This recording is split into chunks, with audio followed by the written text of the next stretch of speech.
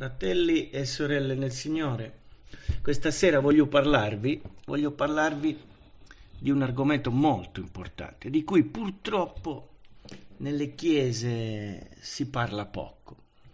Si parla poco e se ne parla male. L'argomento di cui voglio parlarvi oggi sono i sogni e le visioni, cioè Dio parla ancora oggi, questo è importante, il Dio parla ancora oggi all'uomo attraverso i sogni e le visioni.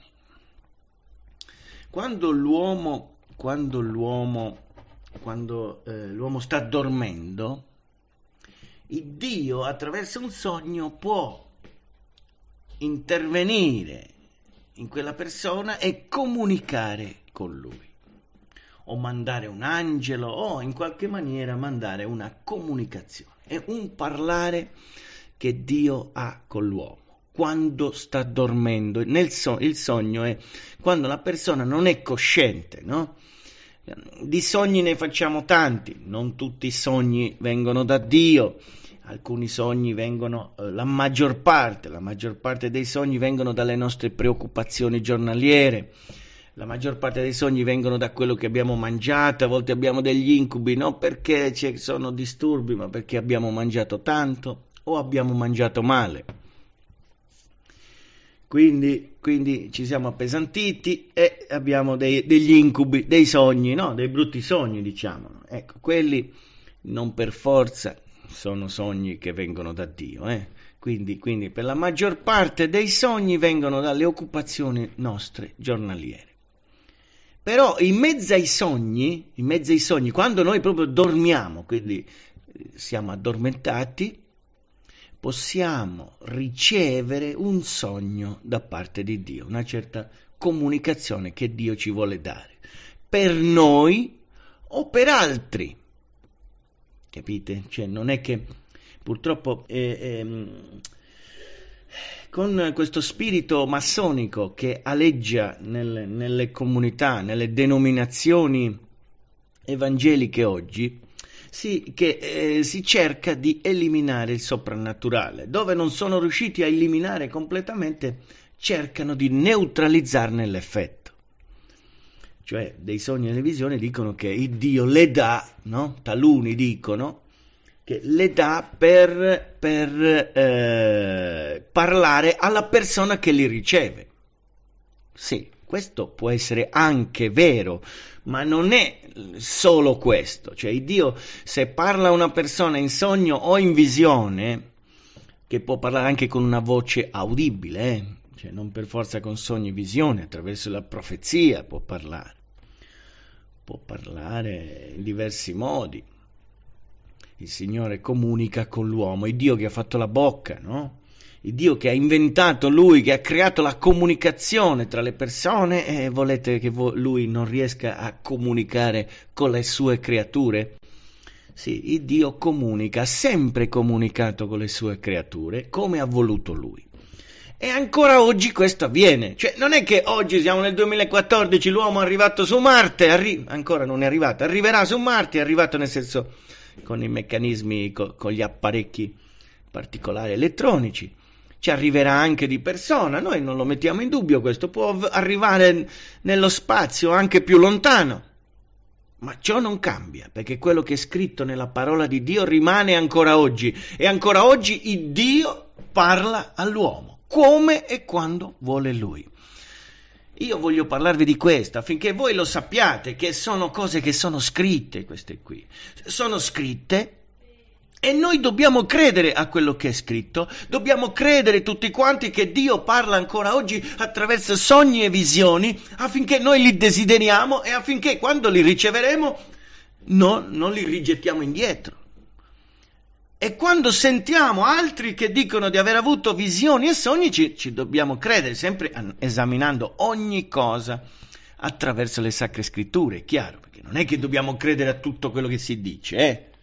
Non è che il primo che viene ha avuto un sogno, ha avuto una visione, noi gli crediamo subito così, senza nessun problema. No, dobbiamo esaminare tutte le cose attraverso le scritture. Se notiamo che c'è qualcosa che contraddice le scritture, noi O rigettiamo le scritture o rigettiamo quel sogno e quella visione che ha avuto quella persona. Quindi è preferibile non credere, rigettare semmai quel sogno e quella visione e tenersi le sacre scritture, che sono, sono molto più affidabili, perché la parola di Dio è una lampada al nostro piede, una, una luce sul nostro sentiero, perché la parola ci guida.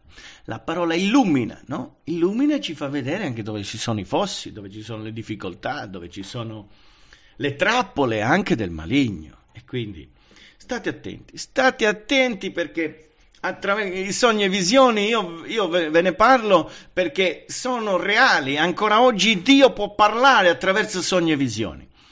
Però è chiaro che di queste cose se ne possono servire anche gli avversari, gli avversari della verità, gli avversari della parola, gli avversari della Chiesa no? gli infiltrati, i falsi profeti. I falsi profeti cosa fanno? Non fanno altro che inventarsi sogni, visioni, messaggi, comunicazioni che Dio, eh, che Dio eh, dice, se loro dicono che Dio gli ha detto quando Dio non ha parlato loro, in nessuna maniera.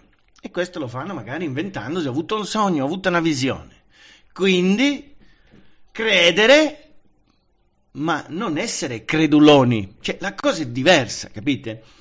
Cioè, essere credenti è una cosa, essere creduloni è un'altra. Il credulone è colui che crede tutto quello che si dice, senza esaminare niente. E noi dobbiamo essere credenti, non creduloni. Creduloni lo lasciamo fare ad altri. Noi siamo credenti, noi crediamo primo, crediamo a quello che sta scritto nella parola di Dio. Poi possiamo credere alle parole anche dei fratelli, alle testimonianze, ai sogni, alle visioni, esaminando sempre però attraverso le sacre scritture quello che viene detto. E questo è importante. Credere, ma sempre passando attraverso un ragionamento logico, una, un esame de, de, de, di quello che si è detto, di quello che si sta dicendo, che si sta argomentando. Ma questo vale per i sogni e visioni per ogni cosa, eh, per tutte le cose che vengono fatte e dette, bisogna sempre esaminare ogni cosa, perché la seduzione del maligno è sempre pronta, cioè il maligno è sempre all'opera. Ora si serve di uno, poi si serve di un altro, poi si serve di un altro ancora e, e cerca di sedurre i santi, gli eletti, va bene, affinché si svinino dalla verità. E noi invece dobbiamo, dobbiamo, siccome non ignoriamo le macchinazioni di Satana, Dobbiamo dircele queste cose, ce le dobbiamo ricordare sempre, ci dobbiamo esortare sempre a esaminare ogni cosa affinché niente e nessuno ci possa sviare dalla verità. Eh, queste sono cose importanti, ma adesso facciamo questo viaggio attraverso le scritture partendo dal principio, suddividiamo, diciamo, il nostro, il nostro periodo biblico. Io personalmente non voglio farne una dottrina certa, però eh, i periodi delle scritture io li suddivido in, in, in diversi periodi, no? Ad esempio c'è il periodo del principio, che lo faccio giungere linee generali, eh, sto facendo nei ragionamenti perché bisogna distinguere, no? Gesù disse quando parlava appunto del matrimonio che, che, solo una donna era stata fatta per l'uomo, disse ma in principio non era così, perché eh, Eva fu fatta, fu fatta per Adamo, una donna sola, no? il principio, quindi dal principio della creazione fino, diciamo, fino alla legge. Poi c'è il periodo della legge di Mosè. La legge di Mosè ha durato fino a Giovanni Battista, poi da Giovanni Battista in poi da Giovanni Battista in poi sì, perché eh, l'Evangelo della grazia è cominciato, è stato, è, è, ehm, si è iniziato ad annunzi- ha iniziato ad annunziare l'Evangelo della grazia e della misericordia di Dio, eh, è iniziato con Giovanni Battista. Quindi da Giovanni Battista in poi siamo nel periodo sotto la grazia. Sotto la grazia che terminerà, no? terminerà con la risurrezione dei morti con la venuta del Signore Gesù Cristo e la risurrezione dei morti. E lì inizierà il millennio, quindi ci sarà il periodo del millennio, quindi mille anni. Terminati mille anni ci sarà un'ultima battaglia contro eh, popolazioni che si, che si schiereranno ancora contro Gesù Cristo e contro, contro i santi e saranno distrutti, dopodiché verrà il giudizio, giudizio finale. E dopo la terra sarà distrutta e eh, sarà cre- saranno creati nuovi cieli e nuova terra. Per adesso in questa terra io mi fermerei a questi periodi, quattro periodi, fino al millennio. Quindi esamineremo che nel principio, nel periodo prima della legge, Dio parlava attraverso sogni e visioni. Durante la legge parlava ai suoi profeti attraverso sogni e visioni. E sotto la grazia non è cambiato nulla, cioè è questo, è questo che è importante. Il Dio, come ha parlato anticamente attraverso sogni e visioni, Così ancora oggi può parlare all'uomo attraverso sogni e visioni, non è cambiato nulla. Noi oggi siamo nel periodo sotto la grazia e ancora oggi il Signore parla attraverso sogni e visioni. Parla quando vuole Lui, parla a chi vuole Lui. Questo è importante, non è che parla tutti i giorni e, e quando vogliamo noi. No, noi però dobbiamo saperle queste cose che ci sono nella scrittura, dobbiamo avere fede in queste cose, dobbiamo crederci, dobbiamo ascoltare attentamente quando un fratello dice ho avuto un sogno, ho avuto un sogno, ho avuto una visione, ho avuto una visione, il Dio mi ha parlato, mi ha detto, cosa ti ha detto? Ascoltiamo, ascoltiamo attentamente, esaminiamo ogni cosa e poi eh, attraverso la scrittura noi ci rendiamo conto se quello che è stato detto può essere oppure no e poi lo Spirito Santo anche ci aiuta, eh? noi dobbiamo essere prudenti. Però lo Spirito Santo insieme alla parola di Dio ci aiutano a comprendere se le cose, quelle, quelle, quel sogno, quella visione che ci raccontano vengono da Dio. Se c'è un minimo di incertezza, se c'è qualcosa che non quadra, attra... allora lasciamo stare, eh? stiamo attenti. Poi talvolta, talvolta, se sono cose che ci riguardano, faccio un esempio, io vengo a voi, a, a chi ancora non è sposato, non faccio un esempio. Vengo da te, ti dico, a te che non sei sposato, uomo o donna che sei. Dico, fratello, sorella, il Dio mi ha parlato e mi ha detto che ti devi sposare con Tizio, ti devi sposare con Caio. Voi fate bene ad ascoltare, non è che fate male. Però cosa dovete fare? Come dovete reagire? Va bene, fratello, Te l'ha detto a te? Bene, adesso aspettiamo che Dio me lo dica anche a me, perché riguarda me. Non è che viene uno e ci dice mm, per liberarsi di noi, no? Il fratello, il Dio mi ha dato una visione, mi ha detto che tu dovrai andare in Africa a predicare la parola. E, e, e se lo toglie di mezzo, capite? Cioè, perché noi, noi siamo in guerra. Cioè, l'avversario usa ogni tipo di scorrettezza per eliminare i suoi avversari, in qualsiasi modo, in qualsiasi maniera. Questo cosa fa? Noi siamo in guerra, allora dobbiamo, cioè non è che siccome ci, ci sono um, visioni e sogni falsi, dobbiamo rigettare anche quelli veri. No, non dobbiamo fare così.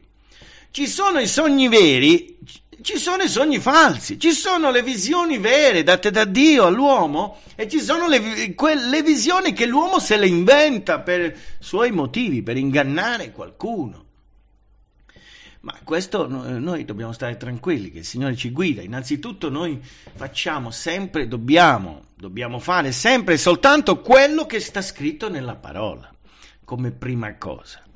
I sogni e le visioni li ascoltiamo con attenzione e, e poi vediamo se lo Spirito Santo ce lo conferma e se sono conformi questi sogni, queste visioni a quello che sta scritto nella parola. Se sono cose che non possiamo trovare, perché se uno mi dice quella sarà tua moglie, quello sarà tuo marito, se sono cose di questo genere di cui non possiamo trovare conferma nella scrittura, ci mettiamo a pregare per chiedere conferma a Dio. Perché Dio conferma. Se la sua parola, egli ha piacere di confermare. Non si diciamo che Dio non prende piacere negli stolti, eh, ma negli avveduti. Ricordatevi Gedeone chiese tanti segni prima di andare in quella battaglia che per lui era proibitiva, per il numero degli avversari e la forza degli avversari. Però il Dio non è che lo sgridò perché chiese diversi segni, no, eh, si compiacque, ma perché aveva fede in Dio, credeva che Dio poteva dare quei sogni, quei segni, scusate, quei segni e, e Dio glieli diede, glieli diede. E quindi anche noi oggi dobbiamo avere fede in Dio. Ma fratelli, guardate che stiamo parlando di avere fede in Dio in quell'Iddio che ha fatto i cieli e la terra, eh? nell'Iddio che con mano potente, braccio disteso, ha aperto il Mar Rosso, ha fatto passare il popolo di Israele, milioni e milioni di persone, col bestiame, giovani, vecchi, li ha fatti passare come sull'asciutto. Questo è il nostro Dio, colui che con la parola ha fatto tutte le cose. Quello che disse sia la luce e la luce fu colui che può fare tutte le cose al di là di quello che noi ci immaginiamo e pensiamo. Colui che, vedendo l'incapacità dell'uomo di essere salvato, da solo per le sue opere, per la sua forza, per la... perché non poteva essere quindi l'uomo salvato, da... eh, non si poteva salvare da solo perché la sua natura era corrotta, quell'Iddio ha mandato il suo figliolo Gesù Cristo a morire sulla croce per salvare, per salvare il suo popolo per acquistarsi un popolo.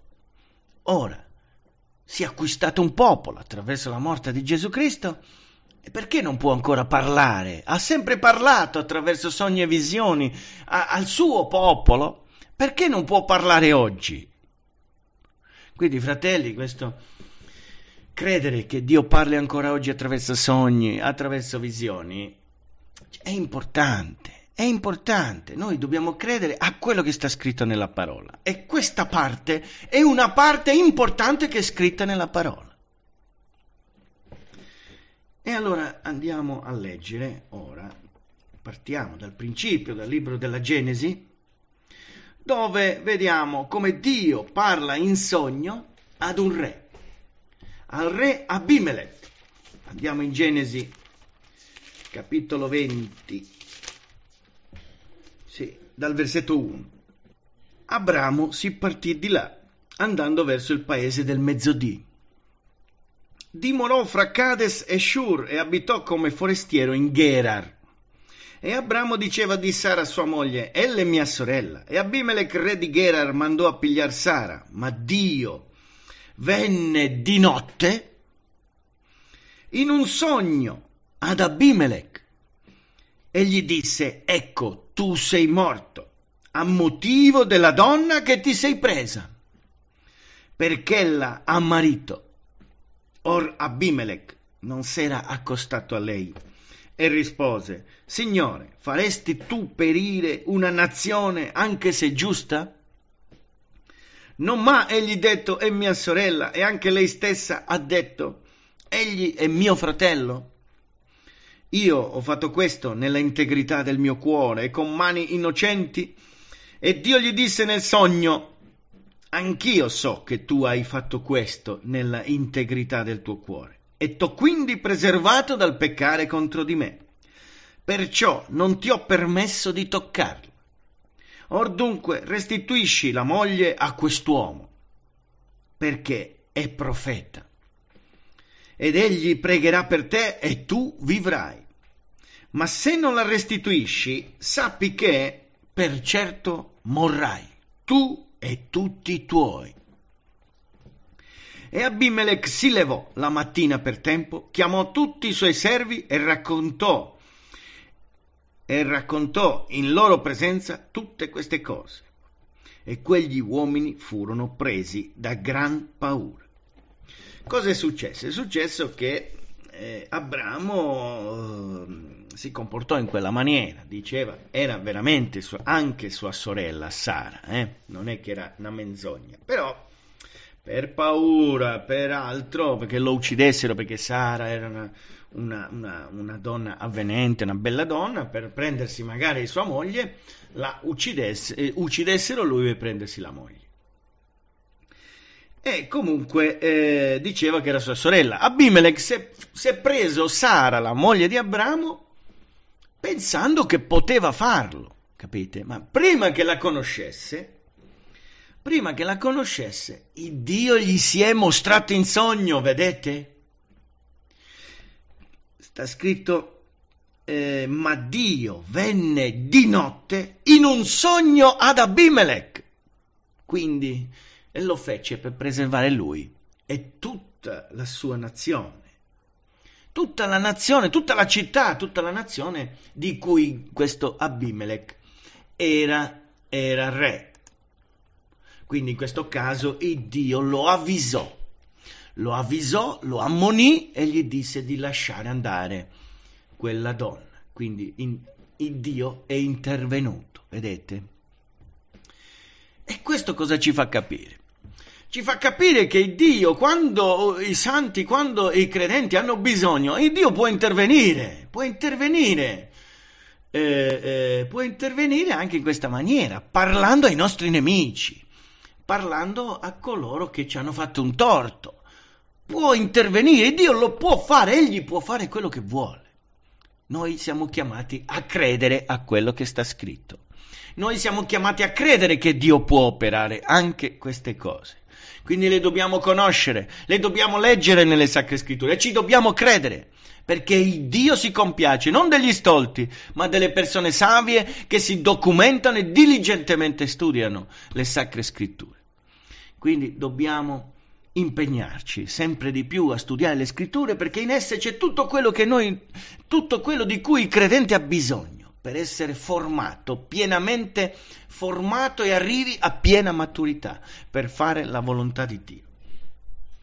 Quindi vedete, Dio è intervenuto su questo re attraverso un sogno. Cos'è? Quindi abbiamo detto che un sogno si ha quando una persona dorme e vede determinate cose o sente determinate voci. Quindi, quindi mentre sta dormendo. La visione invece, la visione è un ratto di mente.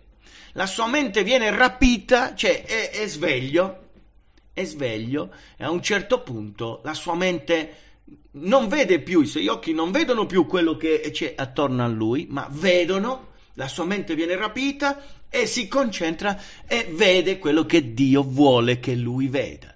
Anche rimanendo per dire dentro una città, il Dio gli fa vedere una montagna, un, un prato verde e, e, fisicamente lui si trova per dire dentro una casa, non potrebbe mai vedere un prato verde e, una, e le montagne, un fiume, ma il Dio è potente da fare anche questo. E questo avviene, la visione si ha quando uno è sveglio, quando è sveglio. Quando invece sta dormendo, quello è un sogno, quindi Dio può parlare agli uomini attraverso sogni e visioni. Lo fa, questo, questo lo devo dire perché è così, lo fa soprattutto concentrandosi in maniera particolare con i suoi profeti. Cioè Dio parla, poi leggeremo anche passo dove lo dice lui stesso, che lui parla principalmente, non soltanto, attenzione, eh, notate bene, non soltanto parla ai suoi profeti attraverso i sogni e visioni, ma principalmente parla ai suoi profeti. E vi ricordo che il ministero di profeta è aperto anche alle donne, eh? c'è il ministero, ministero di profeta e profetessa, quindi c'è anche per la donna. Quindi il Dio può dare un sogno, una visione anche a, a, una donna, a una profetessa, può dargli il dono di ministero e poi si mostra regolarmente, con una certa regolarità, anche a, alla donna, a quella, quella, quella donna che stata, ha ricevuto da Dio il ministero di profeta. Se è un uomo, eh, è l'uomo, se è una donna, il Dio si mostra una donna, come vuole lui, egli fa quello che vuole. Il ministero non ce lo possiamo creare noi, eh? non può essere neanche votato. Non è che votiamo a maggioranza scegliamo un profeta in mezzo a noi. No, non funziona così. Pos- I ministeri non si possono scegliere, i ministeri non li possiamo votare. Il ministero viene dato dal nostro Signore Gesù Cristo a colui che Lui vuole, che ha deciso, a cui ha deciso di darlo. Quindi quindi noi possiamo desiderare i ministeri e eh, pregare Dio che, che per servirlo secondo come Lui ha deciso. Poi il Signore deciderà, sarà Lui a operare. Mentre il vescovo e eh, la, cioè l'anziano o anche vescovo e il diacono possono essere scelti dal, dal, dalla Chiesa, tra quelli più rappresentativi che hanno determinate caratteristiche, chiaro, non è che possono scegliere così per simpatia, ma se hanno determinate caratteristiche. Quelli possono anche essere scelti dal, dalla Chiesa, ma, ma eh, i ministeri non possono essere scelti da nessuno se non da Gesù Cristo. Quindi uno non si può definire ministro di Dio eh, eh, un, un, che ha un ministero, quindi eh, eh, se non gliel'ha dato il Signore. Cioè, il ministero non si prende studiando nelle scuole bibliche, il ministero non si riceve eh, prendendo il tesserino di pastore, di evangelista, di dottore, no, no, non ci sono tesserini qua. Qua non ci sono registri, tesserini, non c'è niente. Qui ci sono ginocchia a terra, faccia a terra, pregare, studiare e aspettare che Dio ti parli e ti dica di fare una determinata cosa. Da lì si comprende quale ministero. In base a quello che, che devi fare o i doni che ricevi o te lo dice espressamente. Però è il Signore che ti chiama a quel tipo di servizio. È il Signore, quindi non, non sono gli uomini. Ora torniamo al nostro soggetto di oggi, che sono i sogni e le visioni. Ancora in Genesi, ancora in Genesi, leggiamo uno dei sogni che è tra i più conosciuti, però noi lo ricordiamo appunto. Al capitolo eh, 41, voi vi ricordate che eh, Giuseppe era in carcere, ma Faraone ebbe dei sogni.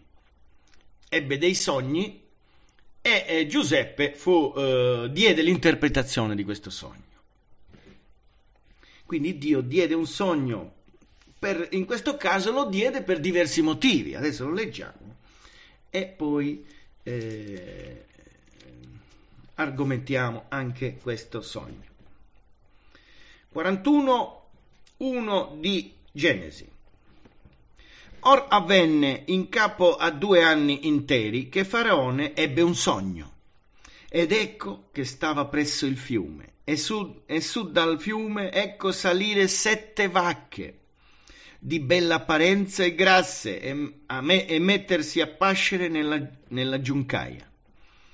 E dopo quelle ecco salire dal fiume altre sette vacche di brutta apparenza e scarne e fermarsi presso alle prime, sulla riva del fiume. E le vacche di brutta apparenza e scarne divorarono le sette vacche di bella apparenza e grasse. E Faraone si svegliò. Poi si riaddormentò e sognò di nuovo. Ed ecco sette spighe grasse e belle venir su da un unico stelo poi ecco sette spighe, sottili e arse dal vento orientale, germogliane dopo quelle altre, e le spighe sottili inghiottirono le sette spighe grasse e piene. E Faraone si svegliò, ed ecco era un sogno.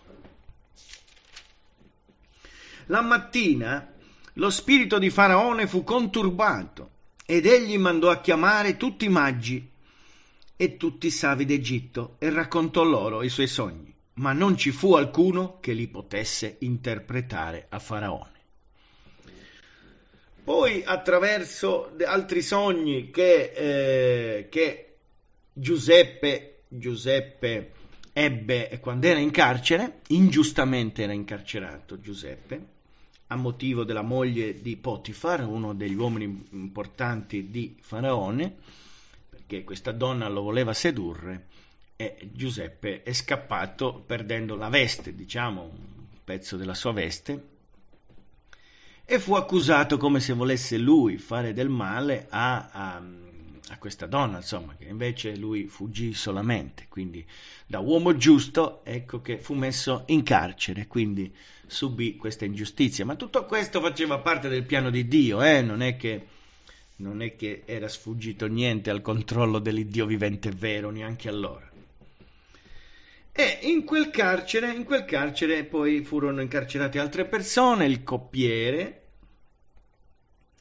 e il panettiere. Uno morì, l'altro fu salvato. Ebbero tutti e due dei sogni, Giuseppe glielo interpretò, uno fu ucciso, l'altro sopravvisse. E quando, quando, eh, quando Faraone ebbe questo sogno, quello che fu liberato, si ricordò che c'era Giuseppe in carcere e che aveva interpretato il suo sogno.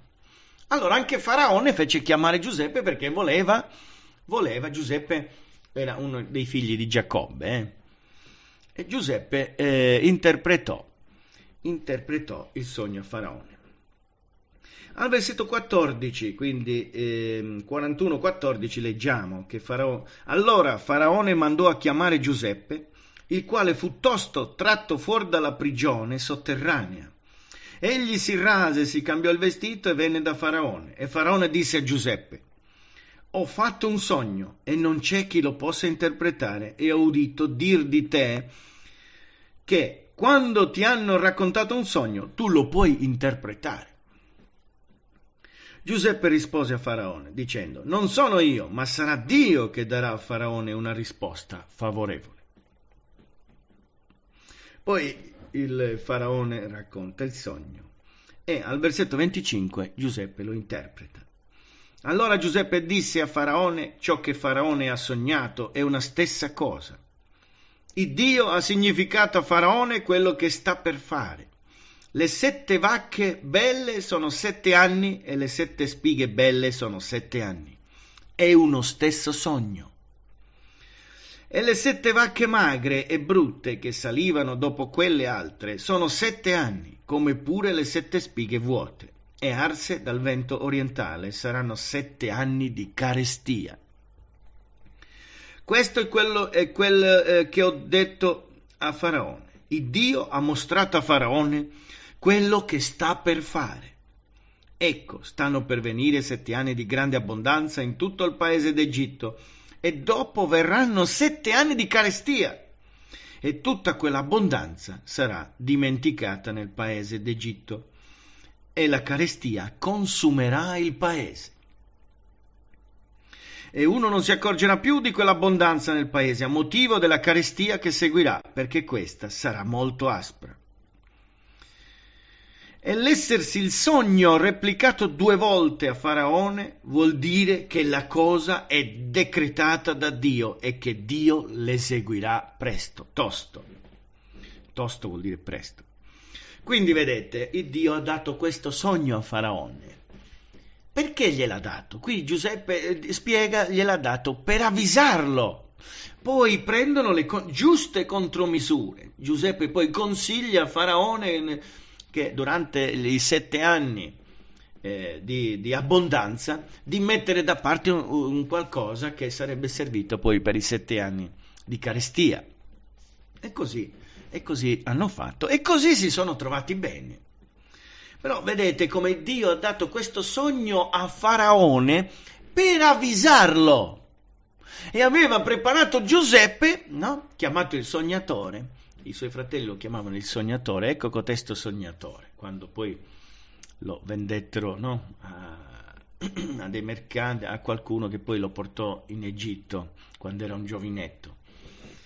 E Giuseppe, Giuseppe ha interpretato questo sogno, quindi Dio diede il sogno a Faraone, che non sapeva né lui né altri interpretare ma poi ha provveduto anche all'interpretazione, capite? Quindi Dio quando dà un sogno poi in qualche maniera provvede anche alla sua interpretazione, cioè la, la comunicazione di Dio agli uomini deve, è perfetta, la fa come vuole lui, ma alla fine il Signore si fa capire, si fa capire. Quindi quando il Signore ci dà dei sogni visi- o delle visioni, e non comprendiamo subito, sappiate che c'è bisogno quindi di una interpretazione, cioè di una, di un eh, Dio magari ci dà un sogno, una visione dove ci sono delle figure, quindi vanno, va trasportato il significato di quelle figure in maniera che si comprenda, si traduca da un, da un linguaggio figurato ad un linguaggio comprensibile alla mente, eh, alla mente umana eh, quindi eh, il Dio parla, vedete, ha parlato a Faraone attraverso il sogno e poi ha, ha fatto in modo anche che ci fosse l'interpretazione di questo sogno. Adesso leggiamo, andiamo avanti, andiamo al libro dei numeri, libro dei numeri, al capitolo 12, al versetto 6. Qui cos'era successo? Era successo che eh, purtroppo, purtroppo Maria e suo fratello Aronne mormorarono contro Mosè, perché il rapporto che Dio aveva con Mosè non era uguale al rapporto che aveva con altri. e talvolta si può creare un'invidia, si può, creare, si, si può essere qualcosa. Purtroppo è così, quando uno è spirituale, poi può anche, diciamo, eh, subire l'invidia e l'attacco di altri. E quindi bisogna stare attenti a non farsi prendere, anche perché fratelli, guardate che se ci sono in mezzo a noi degli, dei fratelli e sorelle spirituali, per tutti gli altri sono una benedizione, cioè non sono una maledizione, capite? Quindi è inutile, non si può invidiare quello che sa di più, perché quello che sa di più il Dio gli ha dato per poter poi condividere con gli altri, quindi non c'è niente da invidiare. Quello che uno sa poi lo dice agli altri e tutti sono arricchiti da quella benedizione spirituale, passa quindi la benedizione a tutti gli altri. Quindi che, che, cosa c'è da invidiare a un fratello che ha ricevuto un ministero di dottore, ad esempio, che conosce bene le scritture e te le mette a disposizione? Lui ha studiato, ha ricevuto da Dio rivelazione, questo dottore. Te, ti mette a disposizione, te lo spiega quello che è scritto nella parola, quindi tu stai risparmiando tanto tempo. Allora che cosa c'è da invidiare? La benedizione che Dio ha dato a quel fratello vedete, la, la, la, don, i doni che ha dato eh, a quel fratello poi mm, si, si trova beneficio in tutta la Chiesa si riceve del beneficio in tutta la Chiesa. Quindi se un fratello o una sorella sono particolarmente spirituali, preghiamo per loro, non invidiamoli, non parliamo, ah ma ci avrà difetti anche lui, cioè non scoraggiamo gli altri fratelli e non attacchiamoli perché perché eh, cioè, gloria a Dio che Dio volesse che mettesse in mezzo a noi gente veramente molto spirituale, più, molto più spirituale di noi, che ci trascina, che ci spinge, ci esorta del continuo a camminare come piace al Signore. Ne abbiamo tutti bisogno, ne abbiamo tutti bisogno, non è... Non, quindi, quindi, non dobbiamo fare come ha fatto Maria, come hanno fatto Ronnie contro Mosè. Ma andiamo a leggere il nostro testo eh, numeri 6 12, 6. E l'Eterno disse, ascoltate ora le mie parole. Se v'è tra voi alcun profeta, io, l'Eterno, mi faccio conoscere a lui, in visione. Parlo con lui in sogno, non così col mio servitore Mosè, che è fedele in tutta la mia casa. Con lui io parlo a tu per tu, facendomi vedere e non per via d'enigmi. Ed egli contempla la sembianza dell'Eterno. Perché dunque non avete temuto di parlare contro il mio servo, contro Mosè? E l'ira dell'Eterno s'accese contro loro, ed egli se ne andò. E la nuvola si ritirò di sopra la tenda. Ed ecco che Maria era lebrosa, bianca come neve. Aronne guardò Maria ed ecco era lebrosa. Quindi vedete, vedete cosa, cosa è questo, qui è Dio, eh, qui è Dio che parla. Diciamo, ehm, qui parlò con una voce audibile, li fece eh, raccogliere vicino alla tenda di convegno e con questa voce potente il Dio parlò loro. Io ho preso questo passo per farvi capire che Dio stesso rende testimonianza che lui predilige parlare attraverso i profeti cioè lui parla in modo particolare ai profeti, quindi anche alle profetesse, quando dico parola, parola profeti, cioè ricordatevi che io lo dico, eh, eh, ma eh, sono, sono, compresi dentro anche le profetesse, eh, anche le sorelle, quindi, quindi, dico solo la parola profeti per, per semplicità nel discorso, ma non sono, non sono escluse le sorelle assolutamente. Il ministero di profeta, ripeto, può essere ricevuto anche dalle sorelle. Quindi, perché? Perché il profeta non riceve i sogni, le rivelazioni da Dio e le deve raccontare, testimoniare di quello che ha ricevuto da Dio. Non, inseg- non ha l'obbligo dell'insegnamento della parola, capite? L'impedimento il divieto che c'è nella scrittura per quanto riguarda la donna è che non può assumere quegli incarichi, quegli uffici, quei ministeri dove c'è anche l'insegnamento della parola. Questo è il limite, ma non è che la donna è diversa dall'uomo, è inferiore, qui non stiamo facendo inferiore nessuno, però il Dio ha stabilito certe cose, certe regole, certi comandamenti sono stati dati e li dobbiamo osservare. Per quanto riguarda il ministero di profeta, ecco che, che la donna può profetizzare, la donna può ricevere il ministero di profeta, quindi, quindi come qui Dio ha detto, Dio ha detto, vedete, dice, se c'è tra voi alcun profeta, io l'Eterno mi faccio conoscere a lui in visione, parlo con lui in sogno, vedete? Quindi Dio, quando in mezzo alla Chiesa c'è un, un, un profeta, il Dio si fa conoscere a lui. Magari noi preghiamo per una certa risposta, per qualche cosa, la Chiesa prega o anche il singolo può pregare. Il Dio può dargli le risposte a questa persona attraverso parlando al profeta, o in sogno o in visione, qui dice. Quindi quel, il profeta, appena riceve questo sogno, questa visione, poi deve andare a dire all'interessato se riguarda lui, se riguarda chi lo riceve, eh, riguarda lui se, se riguarda qualcun altro, perché se Dio può parlare a un profeta per rispondere a un altro fratello, allora appena possibile, hm, il più presto possibile, senza esitazione, eh, mi raccomando, chi riceve le risposte da Dio per certe cose le deve dare subito al più presto, chi riceve rivelazioni all'interessato. Quindi si deve recare a quella persona e raccontargli tutto con dovizia di dettagli, non gen- genericamente, ma raccontare per bene tutto, perché l'altro deve esaminare più cose possibili per verificare accertarsi se può essere credibile quel racconto. E poi quel fratello chiederà poi conferma, quel fratello, quella sorella chiederanno conferma ancora a Dio, che è cosa buona. Però vedete, il Dio già il fatto che parla, sappiamo dalle scritture che Dio sue, le sue comunicazioni, i suoi messaggi li può dare all'uomo anche attraverso sogni e visioni. Questo lo dobbiamo sapere. Qui diciamo ho preso questo passaggio perché qui il Dio fa la differenza, cioè con Mosè il Dio parlava come un uomo parla con il suo amico, non in sogno, non in visione, ma proprio di presenza, capite? Non è che lo vedeva nella sua gloria, cioè non è che Mosè ha visto il Dio, il Dio non, nessun uomo l'ha mai veduto. Però certamente c'era un rapporto particolare, se, seppur ha visto qualcuno avrà visto l'angelo dell'Eterno, avrà visto Gesù praticamente, ma non, ma non chiamato nell'Antico Testamento, chiamato prima che nascesse da, da, dal ventre di Maria, Gesù eh, era, è definito dalle scritture l'angelo dell'Eterno, ve lo ricordo questo.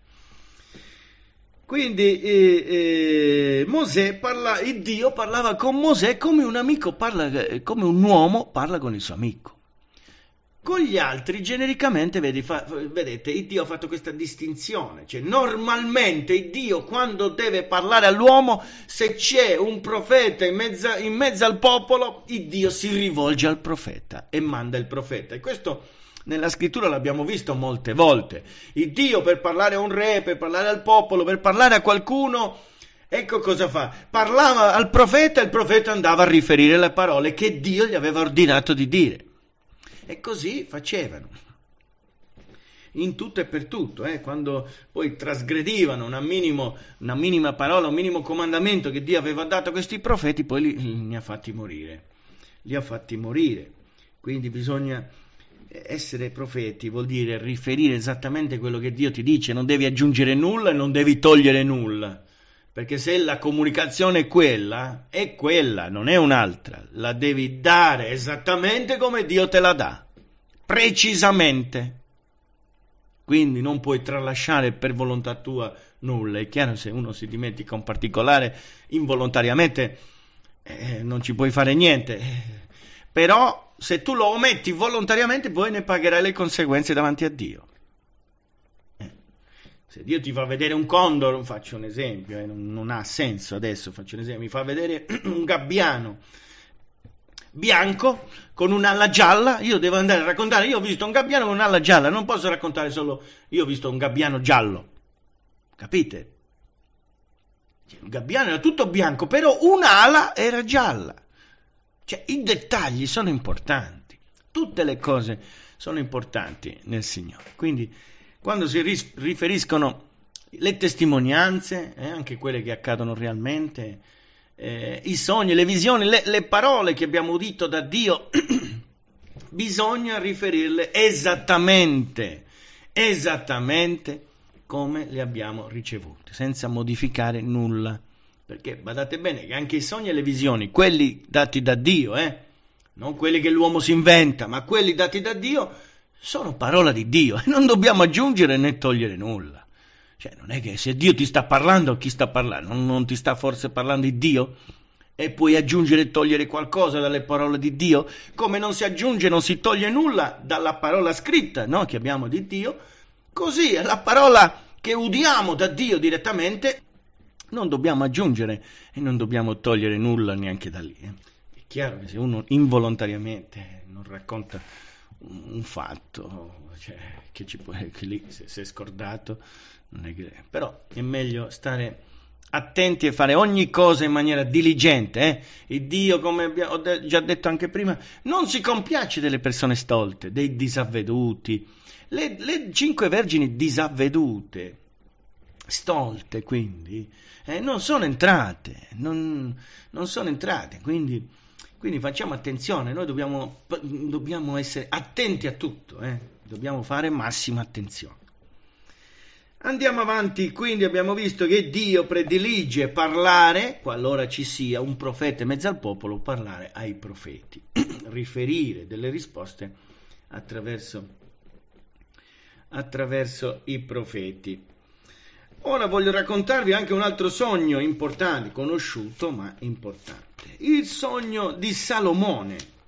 Eh, stiamo andando avanti eh, dall'inizio, adesso la legge è stata data, eh, è stata data già ai tempi di Mosè, la legge era stata ricevuta, quindi adesso anche ai tempi di Salomone, quindi le- siamo sotto la legge. Quindi abbiamo visto che prima della legge di Mosè il Dio parlava anche attraverso sogni e visioni. Adesso vediamo, anche sotto la legge, il Dio parlava attraverso sogni e visioni e parlava ai suoi profeti in modo particolare. Ad esempio, Salomone non era, non era profeta, però era il re, era il re di Israele. Era, era stato fatto re di Israele al posto di suo padre Davide. E a riguardo, a riguardo stanno scritte queste parole eh, capitolo 3, prima re, capitolo 3, dal versetto 3. E Salomone amava l'Eterno e seguiva i precetti di Davide suo padre. Soltanto offriva sacrifici e profumi sugli alti luoghi.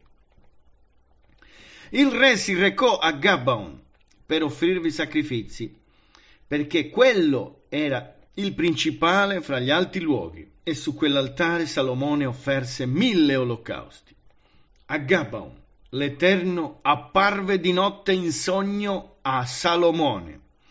E Dio gli disse, chiedi quello che vuoi che io ti dia.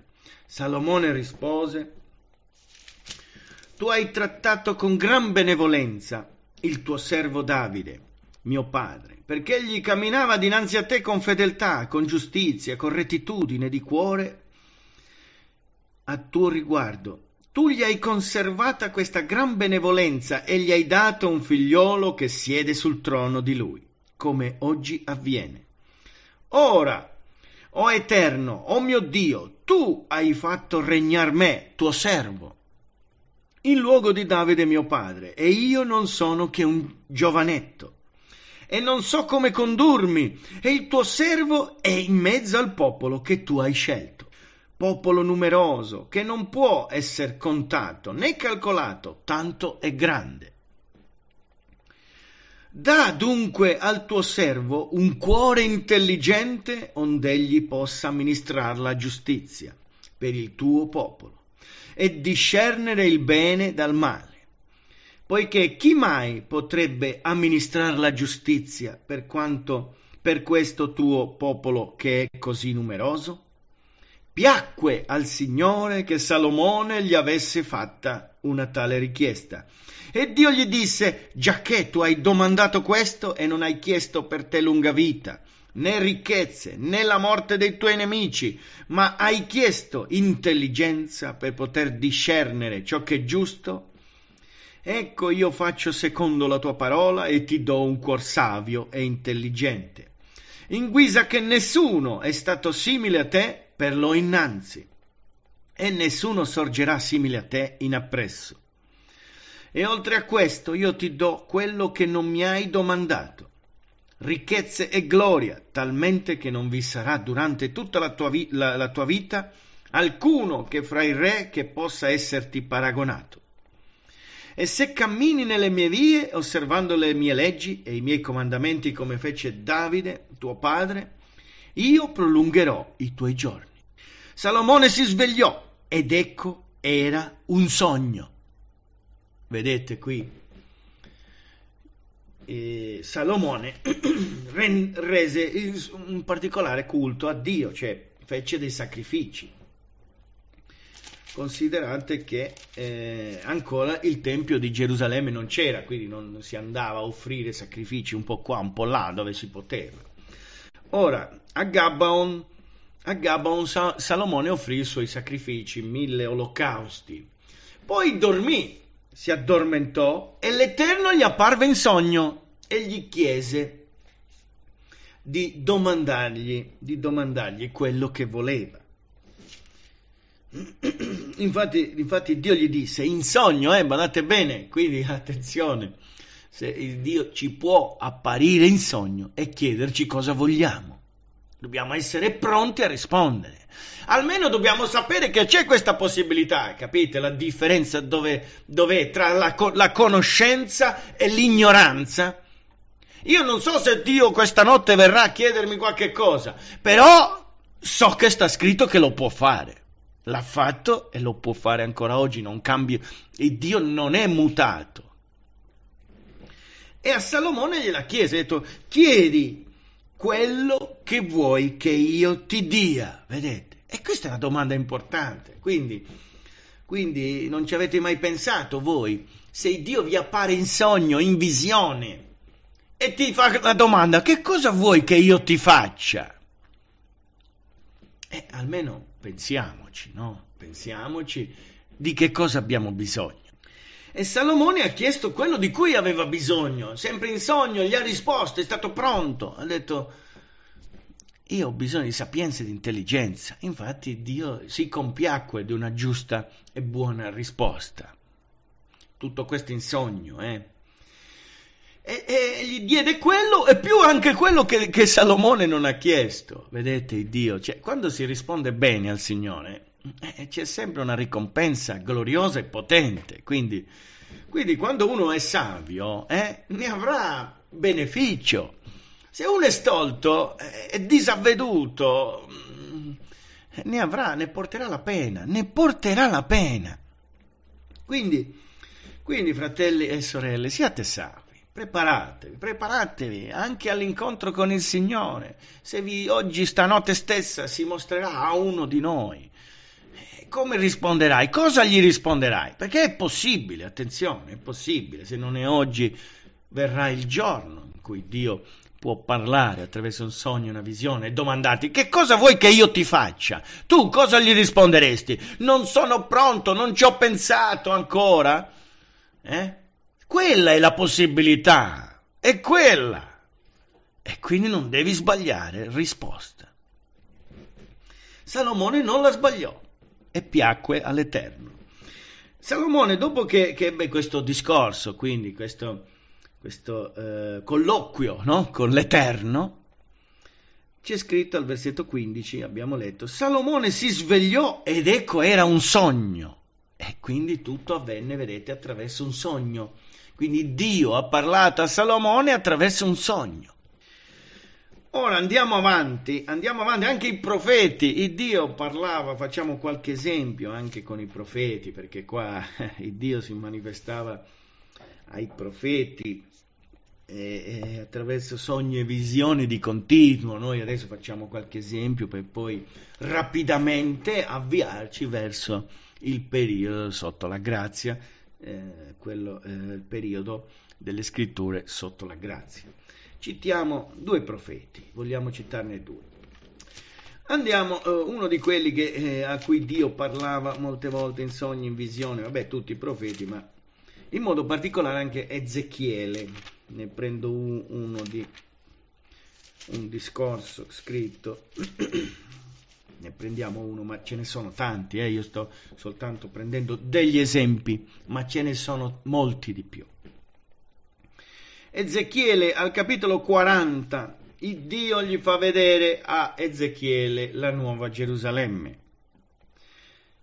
Eh, è il nuovo tempio che Dio aveva preparato.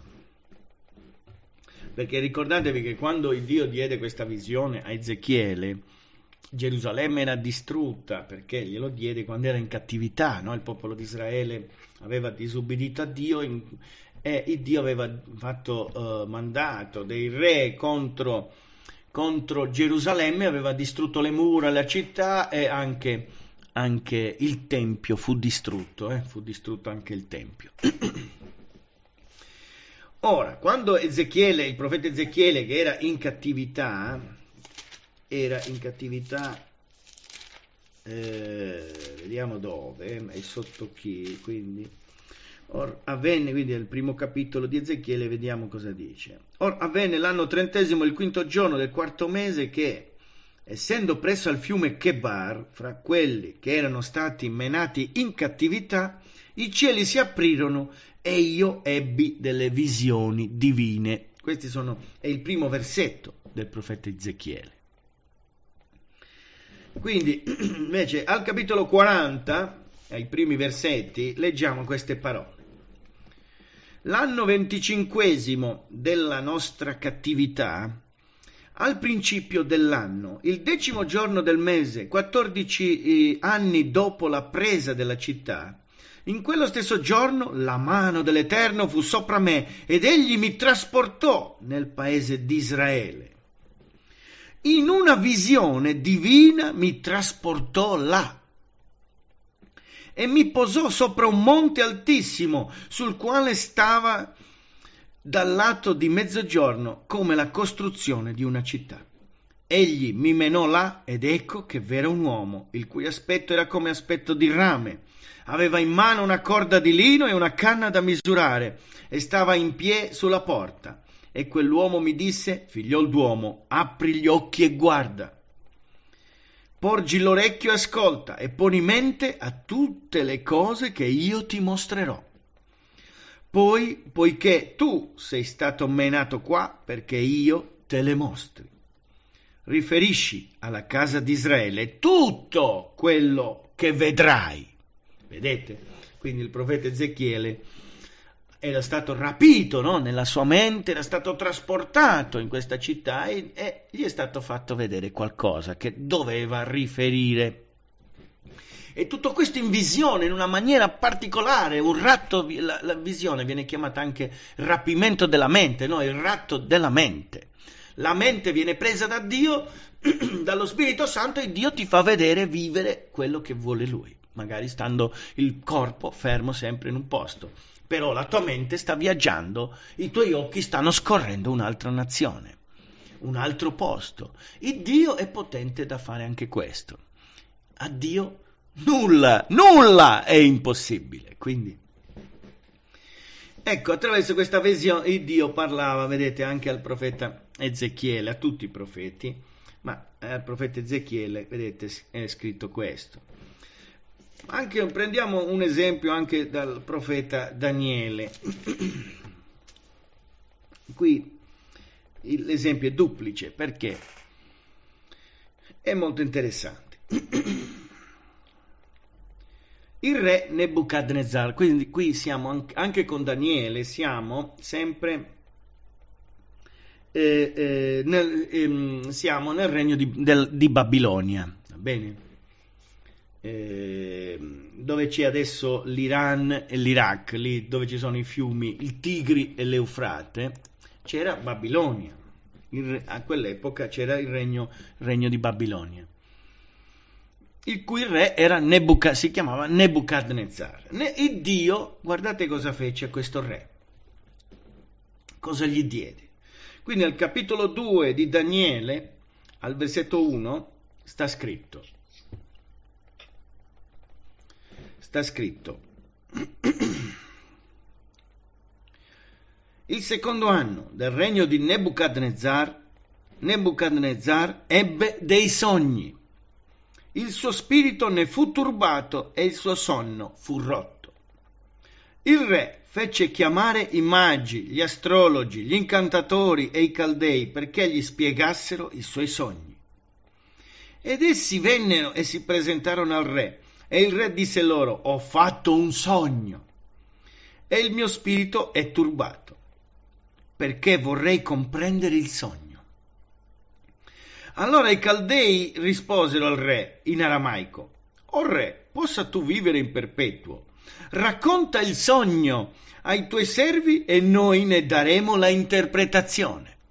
Il re replicò e disse ai caldei, la mia decisione è presa. Se voi non mi fate conoscere il sogno e la sua interpretazione, sarete fatti a pezzi e le vostre case saranno ridotte in tanti immondezzai. Ma se mi dite il sogno e la sua interpretazione, riceverete da me doni, ricompense e grandi onori.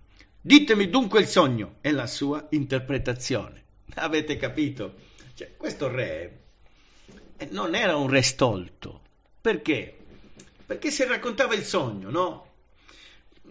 Praticamente provate a raccontare qualche sogno a, qual- a-, a-, qualcuno, anche se non hanno capito niente, si mettono a, rispondervi, a, dire, a dire è successo questo, è successo quest'altro, vuol dire questo, vuol dire quell'altro. E come facciamo poi a dire che non è così?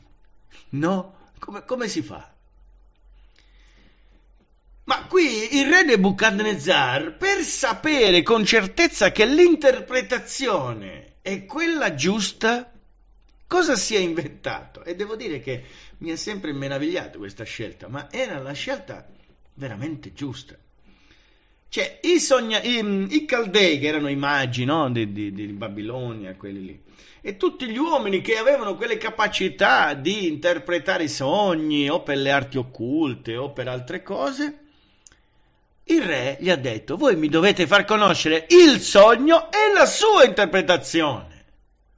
Quindi tutti gli altri non sapevano che sogno aveva avuto Nebuchadnezzar.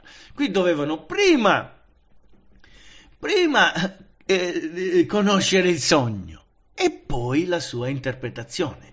Solo che questo re eh, non è che era un re buono, eh, era malvagio, quindi voleva distruggere tutti quelli, che, tutti quelli savi no, di, quel, di, quel, luogo perché se non gli davano, davano l'interpretazione. Eh, quindi la situazione era molto difficile. Il cuore di Daniele fu angustiato. E cosa successe? Successe che anche Daniele era a rischio però Daniele cosa ha fatto? Capitolo 2, leggiamo adesso come Daniele diede l'interpretazione. Capitolo 2, versetto 17, sempre del profeta Dan- Daniele.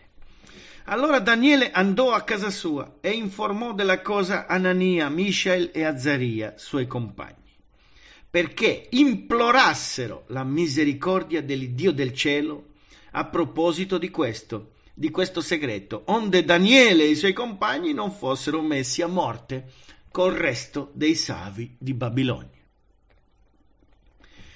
Allora il segreto fu rivelato a Daniele in una visione notturna. E Daniele benedisse l'Iddio del cielo Daniele prese a dire sia benedetto il nome di Dio d'eternità in eternità, poiché a lui appartengono la sapienza e la forza. Egli muta i tempi e le stagioni, depone i re e li stabilisce, dà la sapienza ai savi e la scienza a quelli che hanno intelletto. Egli rivela le cose profonde e occulte conosce ciò che è nelle tenebre e la luce dimora con lui. O Dio dei miei padri, io ti rendo gloria e lode perché mi hai dato sapienza e forza e mi hai fatto conoscere quello che ti abbiamo domandato, rivelandoci la cosa che il Re vuole. Daniele entrò quindi da Arioc, a cui il re aveva dato l'incarico di far perire i savi di Babilonia. Entrò e gli disse così: Non far perire i savi di Babilonia, conducimi davanti al re, e io darò al re l'interpretazione. Allora Arioc menò in tutta fretta Daniele davanti al re e gli parlò così. Io ho trovato fra i giudei che sono in cattività un uomo che darà al re l'interpretazione. Il re prese a dire a Daniele, che si chiamava Bel, Bel, Belzazzar, sei tu capace di farmi conoscere il sogno che ho fatto e la sua interpretazione? Daniele rispose in presenza del re e disse, il segreto che il re domanda, né savi, né incantatori, né magi, né astrologi possono svelarlo al re.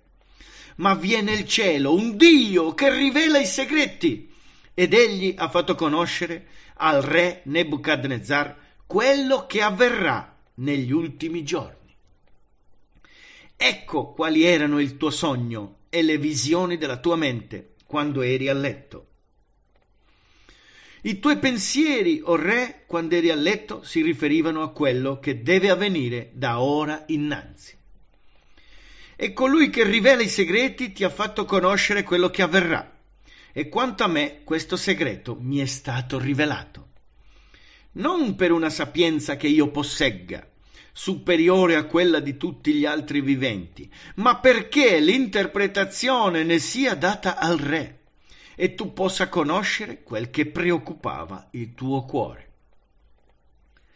Tu, o oh re, guardavi ed ecco una grande statua, questa statua che era immensa ed uno splendore straordinario, si ergeva dinanzi a te e il suo aspetto era terribile.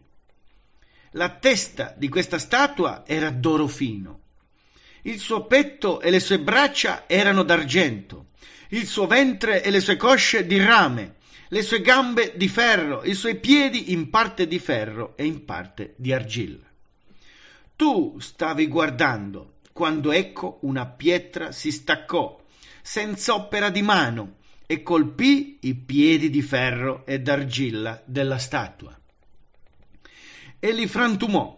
Allora il ferro, l'argilla, il rame, l'argento e l'oro furono frantumati insieme e diventarono come la pula sulle aie d'estate.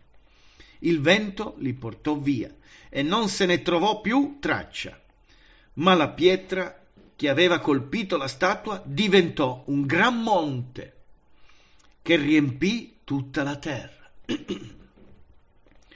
Questo è il sogno, ora ne daremo l'interpretazione davanti al re. Tu, o oh re, sei il re dei re, al quale l'Iddio del cielo ha dato l'impero, la potenza, la forza e la gloria.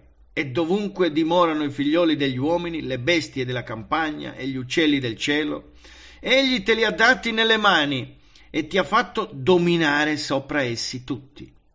La testa d'oro sei tu. E dopo di te sorgerà un altro regno, inferiore al tuo, poi un terzo regno di rame che dominerà sulla terra. Poi vi sarà un quarto regno, forte come il ferro, poiché come il ferro spezza ed abbatte ogni cosa. Così, pari al ferro che tutto frantuma, esso spezzerà ogni cosa. E come hai visto i piedi e le dita in parte d'argilla di vasaio e in parte di ferro, così quel regno sarà diviso.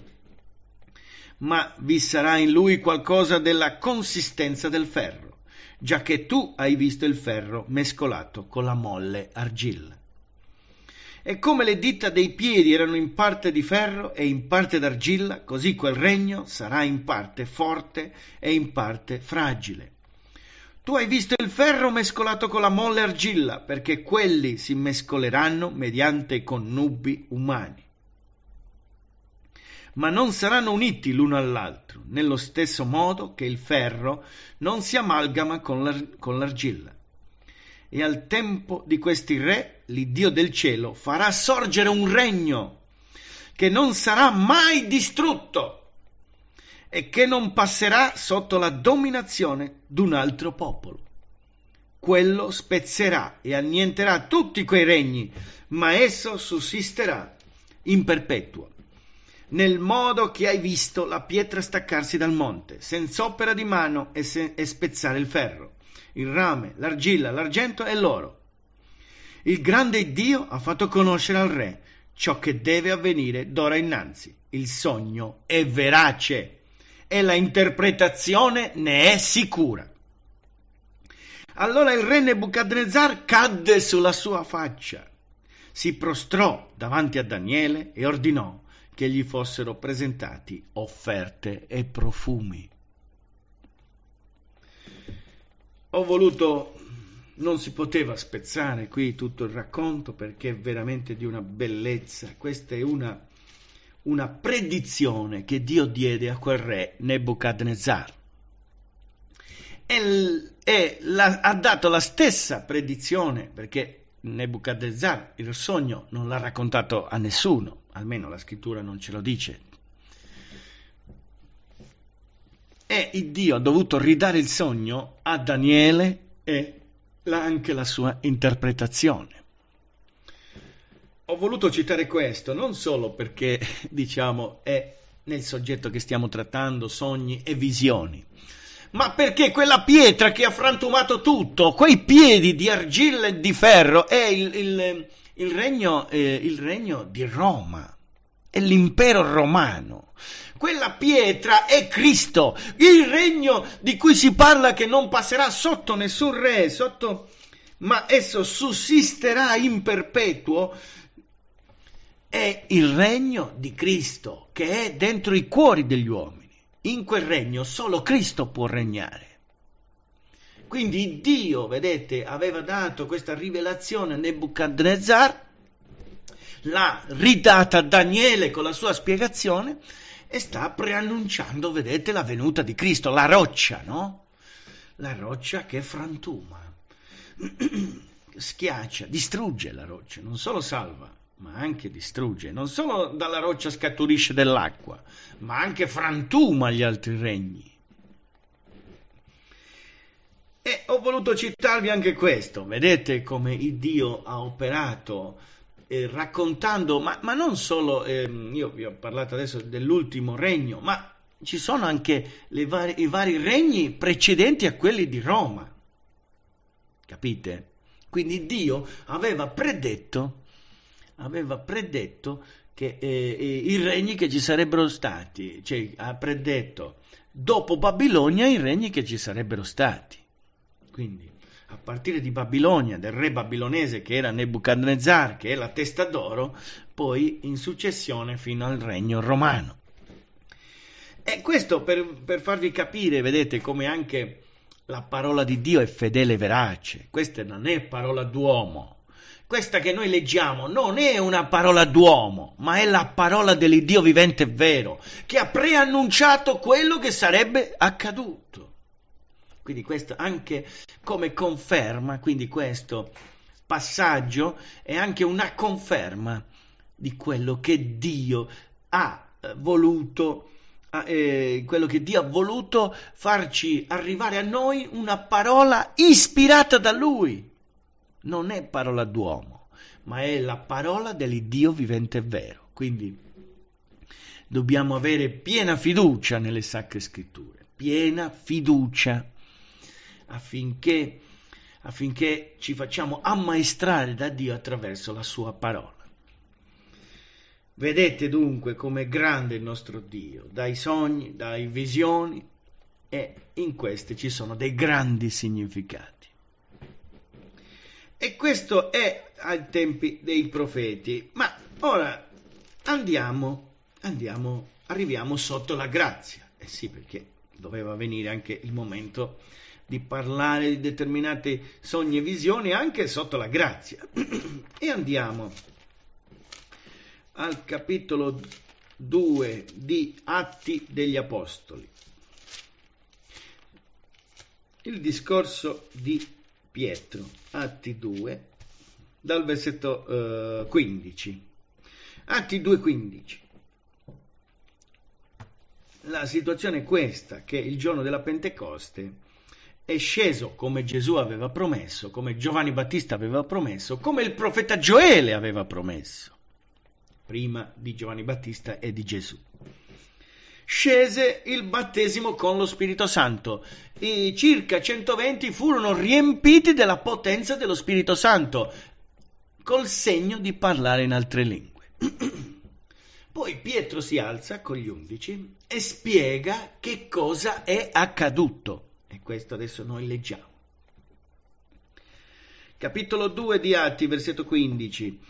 Perché costoro non sono ebbri come voi supponete, poiché non è che la terza ora del giorno. La terza ora del giorno è, sono le nove del mattino. Come si calcolavano le ore ai, ai tempi, eh, magari lo dico, lo voglio dire per quelli che magari non lo sanno la giornata ebraica si divideva dalle 6 del mattino, eh, ehm, ehm, no, dalle 18 della sera alle 18 della sera dopo. Ed era diviso dalle 18 alle 6 del mattino, erano gli orari praticamente notturni, era la notte, e dalle 6 del mattino fino alle 18 era l'orario, l'orario diciamo, diurno. Quindi la terza ora del giorno, praticamente dalle 6 del mattino, aggiungiamo, qui dice la terza ora del giorno, quindi il giorno partiva dalle 6 del mattino, e, e si aggiungono tre ore, quindi tre ore e 6 fanno le 9, quindi erano eh, allora il tempo lo calcolavano in quella maniera, dicevano questa è la terza ora del giorno. Per noi oggi diciamo che sono le nove del mattino. E allora è la, chiamata la terza ora del giorno. Così si calcolavano le ore ai tempi degli apostoli. Andiamo avanti, versetto 16. Ma questo è quel che fu detto per mezzo del profeta Gioele e avverrà negli ultimi giorni, dice il Dio, che io spanderò del mio spirito sopra ogni carne. E i vostri figlioli e le vostre figliole profeteranno. E i vostri giovani vedranno delle visioni. E i vostri vecchi sogneranno dei sogni e anche sui miei servi e sulle mie serventi in quei giorni spanderò del mio spirito e profeteranno. Vedete, questo è il passaggio di Gioele che era stato preannunciato da Gioele, il battesimo con lo Spirito Santo, viene citato da Pietro per spiegare quello che era avvenuto quel giorno. Quindi adesso noi esaminando i passaggi, le parole che dice Gioele, facciamo determinate conclusioni non tanto dal punto di vista del battesimo con lo Spirito Santo, quello lo abbiamo esaminato tante volte, lo faremo ancora, ma dal punto di vista della conseguenza che qui il profeta Gioele, citato da Pietro, pone dopo la ricezione del battesimo con lo Spirito Santo. Quindi adesso lo stiamo citando questo passaggio come effetto per vedere gli effetti del, del ricevere il battesimo con lo Spirito Santo. Dice io spanderò del mio spirito sopra ogni carne e i vostri figlioli, vedete, come conseguenza quindi del battesimo con lo Spirito Santo, e i vostri figlioli e le vostre figliole profeteranno, quindi riceveranno i doni di profezia e profeteranno. E i vostri giovani vedranno delle visioni, e i vostri vecchi sogneranno dei sogni. Ora, non è che si hanno i sogni e le visioni allora, profezia sì, il dono di profezia sia, sia per adesso solamente dopo che si è battezzati con lo Spirito Santo. Ma per quanto i sogni e le visioni si possono avere anche da non convertiti, anche prima di essere battezzati con lo Spirito Santo. Eh. Qui cosa vuole dire però in questa maniera? Cioè, questa deduzione che vi sto ponendo è perché si deduce dalla somma della parola, eh. non perché eh, vi voglio dire io così, ma la parola ci fa capire questo. Qui invece, per quanto riguarda eh, cosa vuole dire dopo il battesimo con lo Spirito Santo? Che i sogni e le visioni sarebbero stati quindi più frequenti, cioè un, non dico una normalità, però più frequenti. Il Dio avrebbe, ah, op, il Dio opera Il Dio opera dando sogni e visioni in maniera particolare a coloro che sono battezzati con lo Spirito Santo.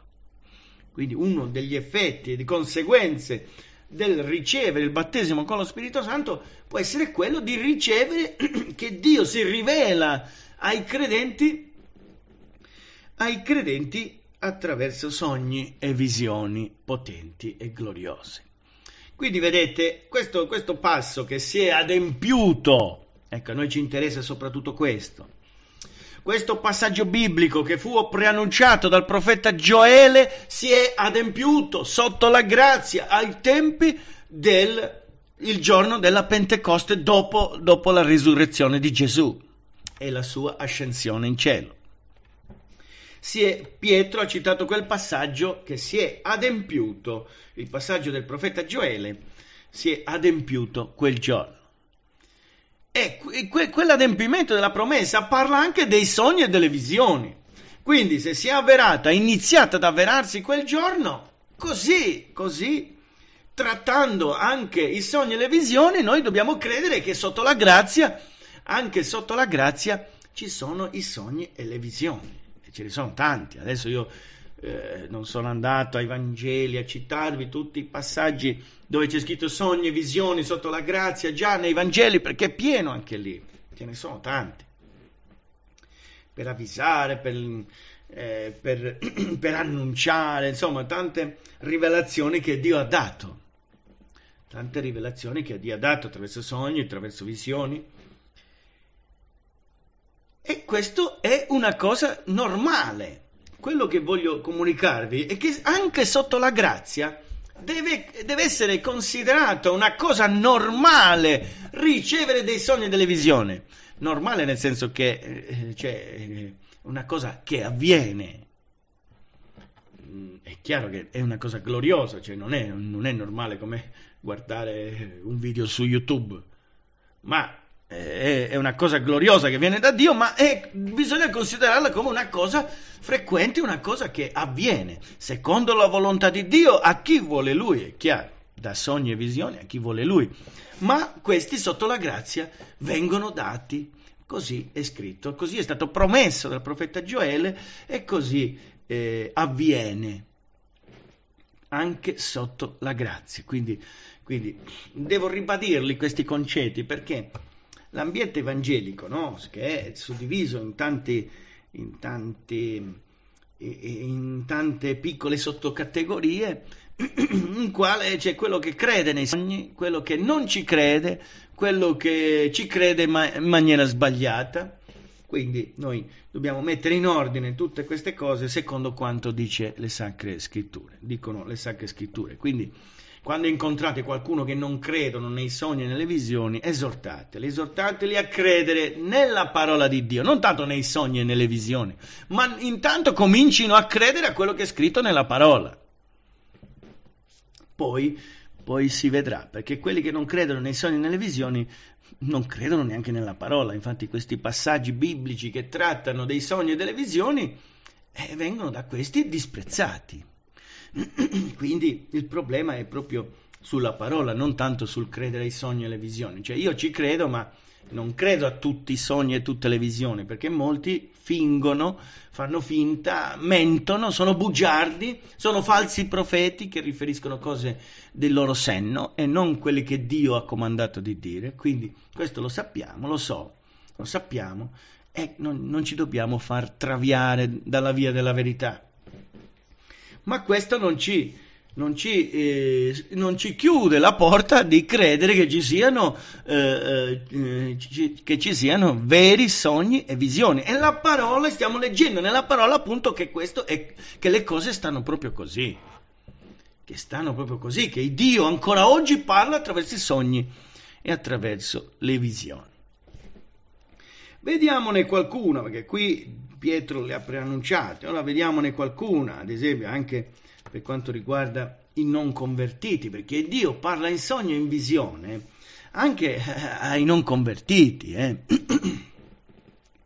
Vi ricordate Abimelech, che era il re di Gerar, il Dio gli diede quel sogno per ammonirlo e non farlo morire, quindi non lo volle far morire, il Dio gli, gli si mostrò, in sogno gli, l'ha, l'ha avvertito che Sara, la moglie di Abramo, non era, ehm, che Sara non poteva tenerla come moglie. E qui il Dio, ad esempio, avvisa Cornelio, quindi andiamo al capitolo Cornelio, che non era credente quando al capitolo 10, anzi parliamo prima di Anania, prima di, di, Cornelio parliamo di Anania, che è un po' prima, un po' prima. Ecco, per quanto riguarda la conversione di Saulo, ad esempio, gli appare Gesù e Saulo si è convertito. Poi il Dio, guardate cosa dice qui, al versetto 10, quindi capitolo 9 di Atti degli Apostoli, al versetto 10, dice, Or in Damasco v'era un certo discepolo chiamato Anania, e il Signore gli disse in visione, il Signore gli disse in visione, vedete, il Signore Gesù apparve a, a, a questo discepolo di nome Anania in visione, e gli disse, Anania, ed egli rispose, eccomi Signore. Vedete com'era pronto anche qui Anania? Ecco perché io vi sto parlando di queste cose, affinché voi vi prepariate mentalmente, nel cuore, e crediate in queste cose e siate poi pronti anche quando possano un giorno avvenire, voi dovete essere pronti a rispondere anche al Signore. Eccomi, Signore. E il Signore a lui, levati, vattene nella strada detta dritta e cerca in casa di Giuda un uomo chiamato Saulo da Tarso, poiché ecco egli è in preghiera e ha veduto un uomo chiamato Anania entrare e imporgli le mani perché recuperi la vista. Quindi il Dio, il Gesù ha parlato a Anania e gli ha detto e gli ha parlato di Paolo, che doveva andare da Paolo, imporgli le mani, guarirlo e anche battezzarlo in acqua. Vedete, e il Signore ha parlato ad Anania, questo discepolo, in visione. E addirittura gli aveva preannunciato ad Anania che anche Paolo vedeva, lo, l'avrebbe veduto venire eh, e impogli le mani in visione. Quindi anche Paolo lo, lo, lo vide, anche se era cieco, no? Lo vide perché il Dio può farti vedere quello che vuole lui. Anche se uno è cieco, il Dio in visione, in sogno, gli può far vedere quello che vuole. E come Gesù gli ha detto, così è avvenuto. E adesso andiamo, andiamo a parlare di Cornelio. Cornelio non è convertito. Al capitolo 10, Cornelio ebbe una visione. Ad esempio, è scritto di Cornelio. Quindi questo per dirvi che Dio può, può parlare in visione, in sogno, anche a delle persone che non sono convertite. E gli dice, eh, quindi Dio dà una visione a Cornelio. E sta scritto così. Or v'era in Cesarea un uomo chiamato Cornelio, centurione della corte detta l'Italica, il quale era pio e temente Dio con tutta la sua casa. E faceva molte elemosine al popolo e pregava Dio del continuo. Egli vide chiaramente in visione verso l'ora nona qui per l'ora facciamo 9 più 6, fanno le 15, fanno le 3 pomeridiane, no? 9 più 6. Quindi così si calcola no? le, per, per determinare l'orario, per sapere qual è l'ora. Verso l'ora nona del giorno, un angelo di Dio che entrò da lui e gli disse, Cornelio! Ed egli, riguardandolo fisso e preso da spavento, rispose. Vabbè, poi c'è tutto un discorso dietro che eh, gli dice di andare a chiamare Pietro, ma vedete, Dio gli dà una visione, gli fa vedere un angelo, un angelo va a parlargli in visione, perché dice, egli vide, al versetto 3 è scritto, egli vide chiaramente in visione, verso l'ora nona del giorno, un angelo di Dio che entrò da lui e gli disse, quindi era in visione. Ricordatevi che il sogno, cioè il sogno, il Dio può parlare attraverso i sogni, il sogno si ha quando si dorme quando si sta dormendo, si può, eh, Dio può, parlarci, può parlare a, all'uomo mentre sta dormendo in sogno. Quando è sveglio, il Dio ci può parlare lo stesso, come se fosse un sogno, una sorta di sogno, un ratto di mente, ti fa vedere quello che vuole Lui, anche se sei sveglio. Ti fa vedere non più quello che si vede rea- nella realtà, no? se davanti a te c'è un muro, c'è un computer e Dio ti, ti, ti, ti può aprire come se si aprisse, si aprisse, la schermata tua davanti no? che c'hai agli occhi e Dio ti fa vedere quello che vuole Lui. Il Signore fa come vuole. Ah, e questa è stata la visione data da Dio a Cornelio, ma c'è anche quella che Dio diede a Pietro per convincerlo di andare con i gentili, perché non era lecito ai gentili, cioè i giudei era, avevano delle riserve di andare a casa dei gentili, insomma avevano sempre, anche se Dio, Gesù aveva spiegato, ma eh, diciamo, ci avevano ancora delle riserve i giudei. E Dio diede appunto questa, una, una, una visione anche a Pietro, che la leggiamo. Capitolo 10, versetto 9. Or il giorno seguente, mentre quelli erano in viaggio e si avvicinavano alla città, Pietro salì sul terrazzo della casa verso l'ora sesta. Vedete? L'ora sesta più 6, 12, mezzogiorno. 6 più 6, 12 quindi era mezzogiorno. Per pregare e avvenne che ebbe fame e desiderava prendere cibo e come gliene preparavano fu rapito in estasi. Vedete un altro modo per dire ratto di mente, la Diodati traduce ratto di mente, visione, cioè era lì in quella terrazza Pietro che aveva, eh, stava pregando, quindi era sveglio, pregava, ebbe fame e la sua mente fu rapita. Cosa, cosa successe con quel rapimento della sua mente? Vediamo. E vide il cielo aperto e scenderne una certa cosa simile a, gra- a un gran lenzuolo che, tenuto per i quattro capi, veniva calato in terra. In esso erano dei quadrupedi, dei rettili della terra, degli uccelli del cielo di ogni specie, e una voce gli disse: Levati, Pietro, ammazza e mangia. Ma Pietro rispose in niun modo, Signore, poiché io non ho mai mangiato nulla di immondo né di contaminato. E una voce gli disse di nuovo la seconda volta, le cose che Dio ha purificate, non le far tu immonde. Questo voleva significare con quella visione che Dio aveva purificato eh, i gentili, che prima i gentili erano considerati impuri, infatti i giudei resistevano ad avere rapporti, relazioni con i giudei, e con, con i gentili. E, e, ma il Dio gli mostrava a Pietro per convincerlo di andare con, con quegli uomini che stavano arrivando a chiamarlo, che erano gentili, quelli che dovevano chiamare Pietro, questa visione gli è stata data da Dio a Pietro per convincerlo di andare con questi, con questi gentili. Quindi aveva un senso, un, un, un, significato ben preciso la visione che Dio ha dato a Cornelio di andare a chiamare Pietro. Poi ha dato una visione a Pietro per convincerlo e spiegargli che doveva andare con quelle persone che Dio stesso aveva mandato a chiamarlo, capite?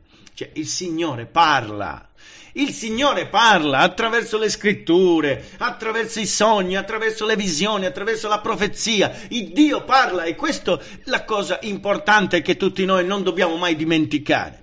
Il Dio parla come vuole Lui, ma Lui parla, non ha cessato oggi di comunicare con il suo popolo, non ha cessato in modo eh, in nessuna maniera. Egli continua a parlare con chi vuole lui e quando vuole lui, però continua a parlare. E noi lo dobbiamo credere fermamente questo, perché è scritto nella sua parola.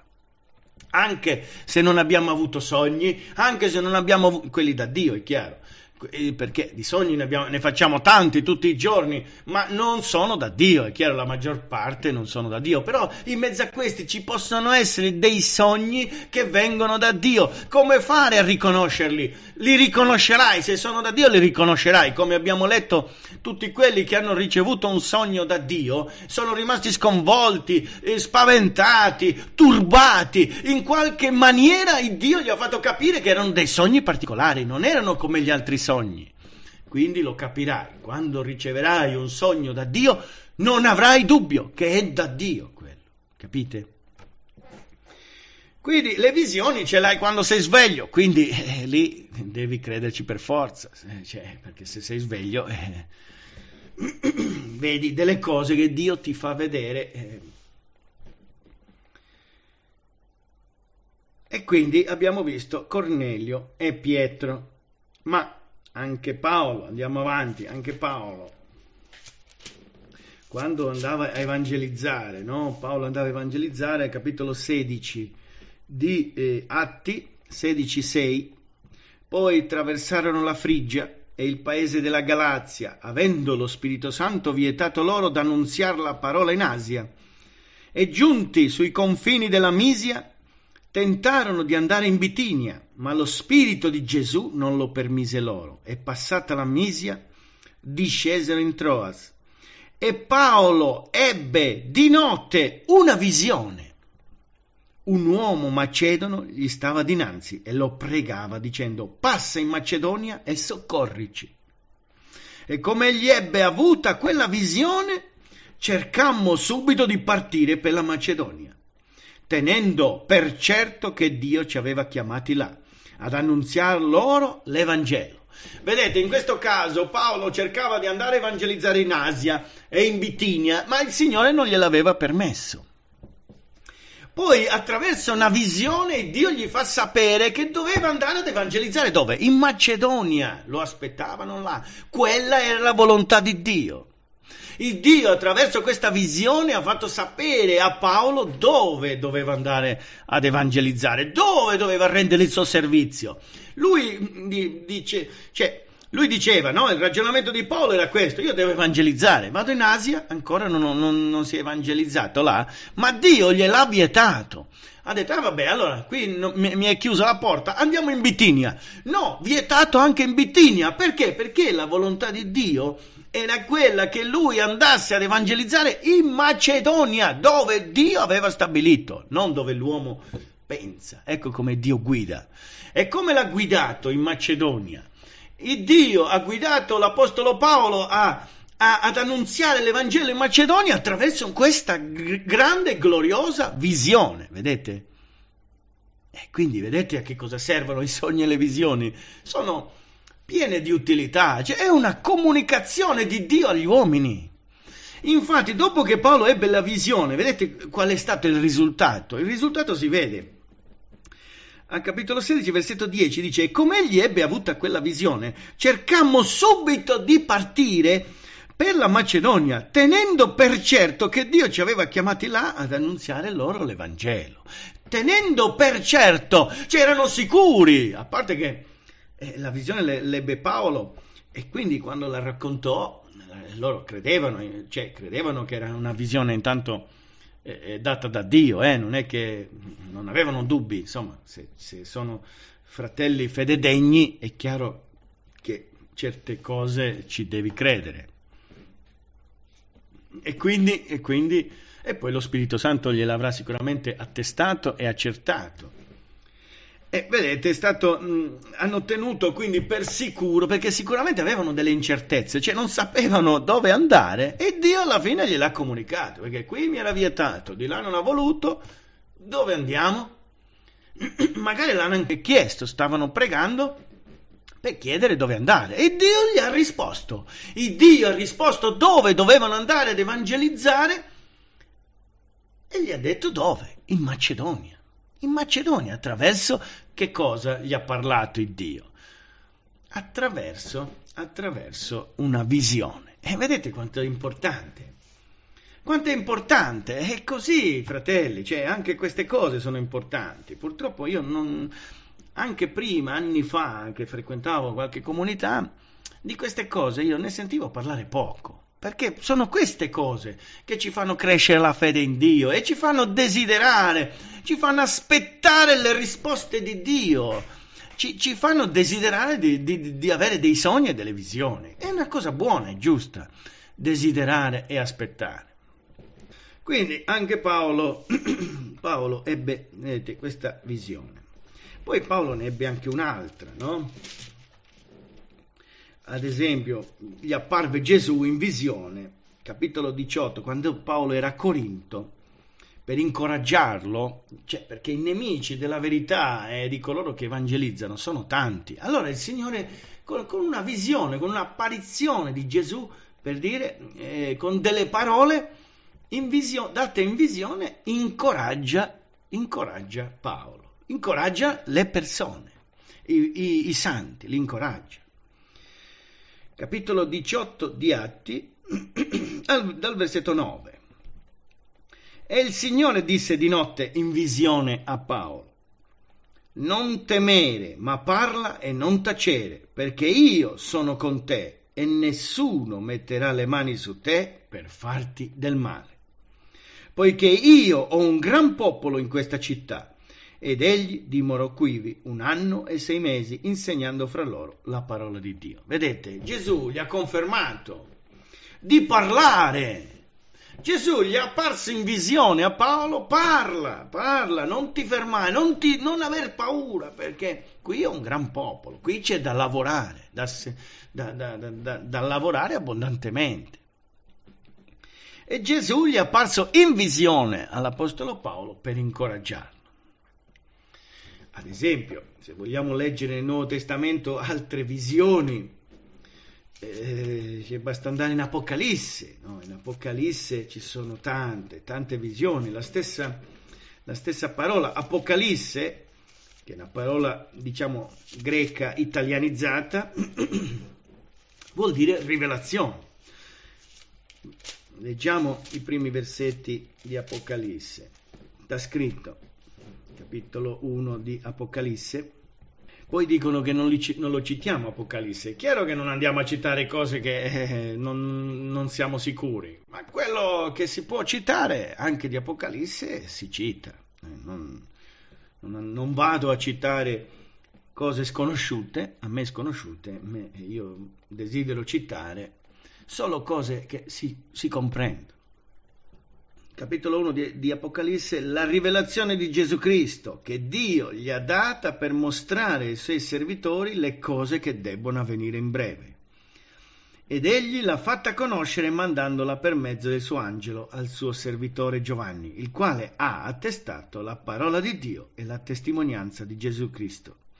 Tutto ciò che egli ha veduto, vedete, la visione, veduto, rivelazione. Il Dio ha dato a Giovanni a Giovanni eh, eh, questa rivelazione in visione, gli ha fatto vedere, gli ha fatto sentire delle cose, le ha fatte vedere, quindi in visione, le ha viste.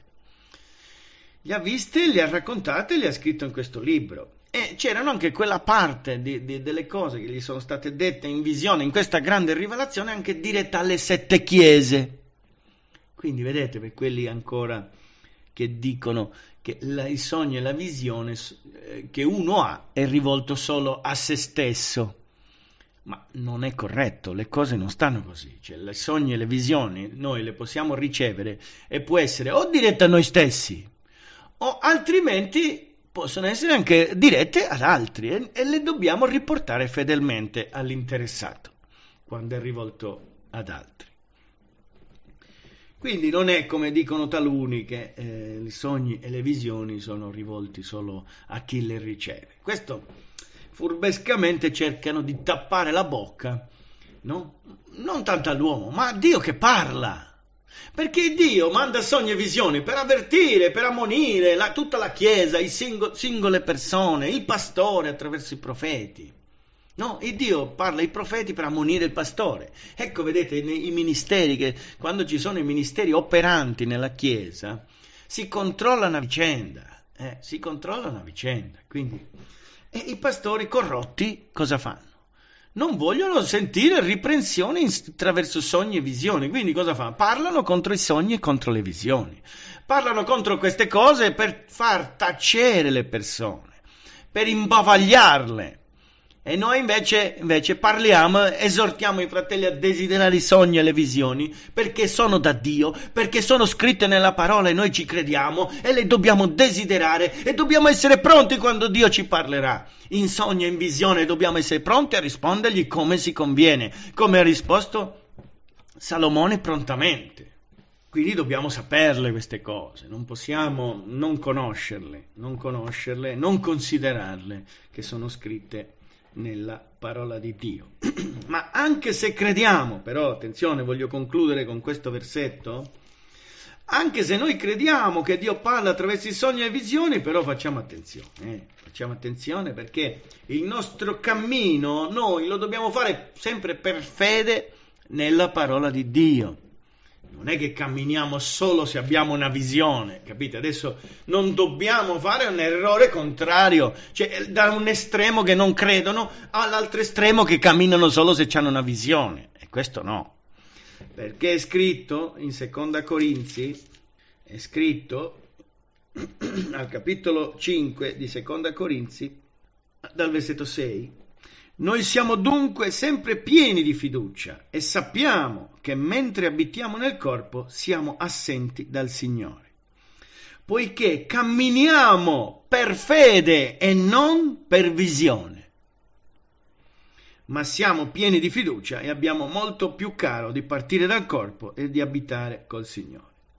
Qui queste parole, poiché camminiamo per fede e non per visione, è importante, perché noi dobbiamo camminare per mezzo della fede nella parola dell'Iddio vivente e vero. Questa è la base principale. Noi non camminiamo pensando solo ai sogni e alle visioni che, si, che, che io, che, che ognuno di noi ha ricevuto o che altri hanno ricevuto. Si cammina sempre per la fede in Dio, per la fede in Cristo, per, fe, per la fede nella, e nella conoscenza della parola di Dio. Questa è la cosa più importante. È chiaro che, che eh, quindi non siamo guidati totalmente ed esclusivamente dai sogni e dalle visioni. Siamo guidati principalmente dalle sacre scritture, da Dio, dalla parola di Dio. E poi, in, eh, in aggiunta a tutto questo, ci sono anche i sogni e le visioni. Quindi dobbiamo essere credenti, siamo credenti, crediamo a quello che sta scritto e non dobbiamo essere creduloni, non dobbiamo credere a tutto quello che si dice, che, che viene detto in giro. Eh? dobbiamo provare, ogni spirito dobbiamo provare e mettere alla prova tutte le persone che ci parlano e eh, anche mettere alla prova anche il discorso se regge, i discorsi che ci vengono fatti se reggono. Quindi noi camminiamo per fede, non per visione, anche se sappiamo che Dio parla attraverso i sogni e le visioni. Ancora oggi non ha cessato in modo assoluto di parlare con il suo popolo attraverso i sogni e le visioni. E questa era la conoscenza, l'esortazione a pregare che ho voluto questa sera darvi, fratelli e sorelle nel Signore. A Dio siano la gloria, l'onore e la lode nei secoli dei secoli. Amen.